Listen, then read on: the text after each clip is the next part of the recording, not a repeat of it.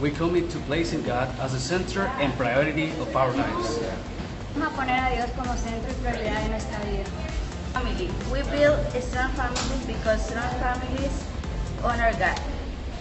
Familia. Construimos familias fuertes porque las familias fuertes honran a Dios.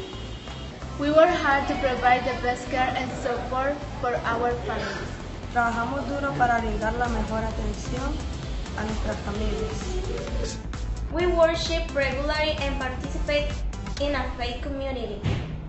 Adoramos regularmente y participamos en una comunidad de fe. Defend freedom and liberty. We strive to maintain and respect our freedom. La libertad, nos esforzamos por mantener y respetar nuestras libertades.